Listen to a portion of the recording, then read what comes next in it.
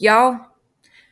Uh, trigger warning, of course. I thought we left the Predators in 2020, but apparently we didn't. Apparently, we drug them right on into 2021 with us like nobody's business because here we are yet again, again, with another YouTuber who not only exchanged nudes with a minor, but used mental illness as a way to get those nudes. I mean, how many?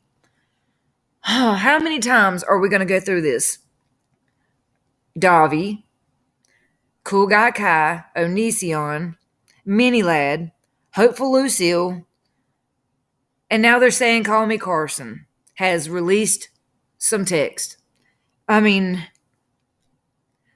YouTube is not a safe place for minors or kids. I'm just putting it out there. I mean, I'm just going to say it. If you have kids, you better monitor what they're doing on YouTube because not only can they watch videos, but they also can get enough information to start uh, messaging.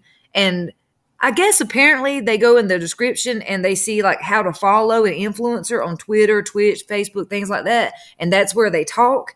But when is when are these platforms going to stand up and say, "Hey, you're admitting you did this? Bam, you're gone, deleted. Your channel is deleted. You are now banned. Goodbye. Go join Daddy of Five over there in the corner and, and put your dunce hat on.